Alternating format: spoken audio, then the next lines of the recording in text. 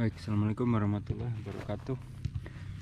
Uh, video ini sebenarnya pengulangan dari video sebelumnya karena kendala teknis uh, saya terbalik merekamnya ya. Jadi ini menggunakan kamera 360. Jadi kalau anda lihat dari bagian kalau sana utara berarti sana selatan.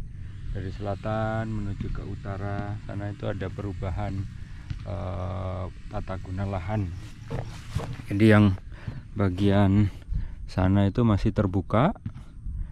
Ya tidak sepenuhnya masih asli ya tapi sudah digunakan oleh uh, penduduk untuk bercocok tanam ya, sebelah sana. Tapi di sebelah lebih ke utara lagi itu sudah uh, banyak perumahan. Jadi dari lahan yang tadinya seperti itu diubah menjadi seperti itu nah dari sini kita bisa lihat bahwa uh, air hujan turun. Kalau kondisi lahan seperti itu maka akan ada air yang meresap ke bawah air hujan yang meresap ke bawah ya. Walaupun tidak besar juga sebenarnya. Karena kan e, tanah di sekitar sini biasanya jenisnya lempung jadi air yang masuk pun tidak besar sebenarnya. Tapi coba kita bandingkan dengan yang sebelah sana bahwa e, di sana sudah ada aspal sudah ada rumah-rumah yang tentunya tidak memungkinkan air hujan untuk meresap sama sekali sebenarnya.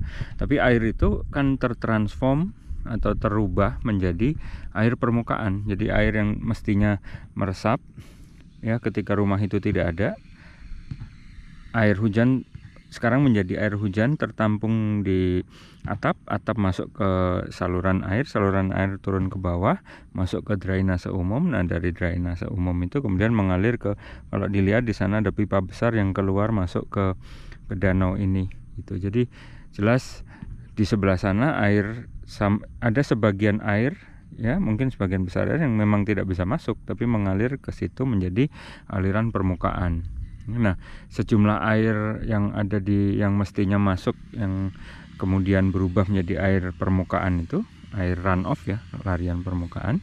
Nah, sejumlah air itulah yang mestinya harus dipikirkan untuk bagaimana caranya bisa tetap masuk ke bawah.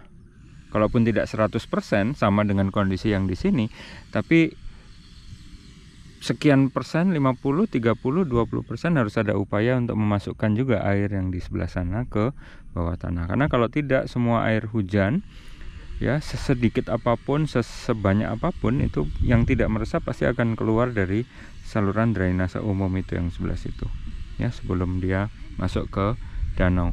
Demikian kurang lebih penjelasan saya.